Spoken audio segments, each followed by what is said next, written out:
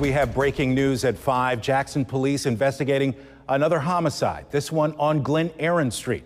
16 WAPT's Kara Peters in South Jackson live with more on this death investigation. Kara?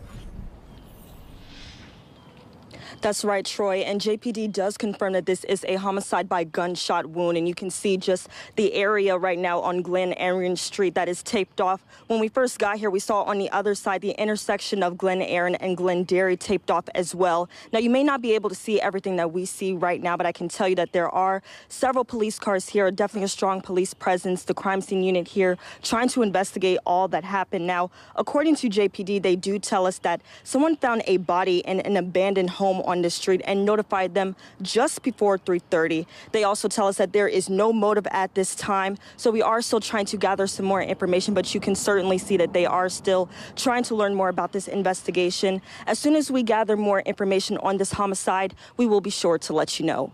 For now, reporting live in Jackson, Kara Peters, 16 WAPT News.